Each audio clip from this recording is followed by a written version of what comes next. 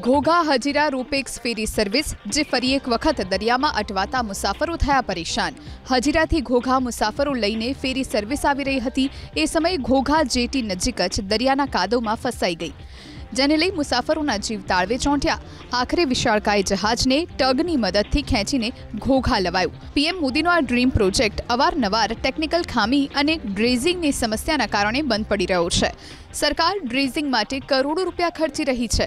ખાનગી એજન્સીને આનો કોન્ટ્રાક્ટ અપાયો છે. તેમ છતાં દરિયાઈ કાંપ દૂર ન થતાં રોપેક્સ ફેરી સર્વિસ વારંવાર અટવાય છે.